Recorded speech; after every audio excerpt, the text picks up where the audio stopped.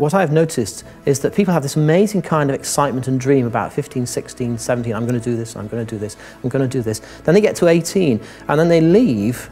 I come back a couple of years and the light's gone out of their eyes. And I wonder what is it that made the difference so that when they went out of that classroom into the world, and I came, they came back to see me because I usually got on with most people. They come back and talk. And the light had gone and I thought, what is it that they lost in the process?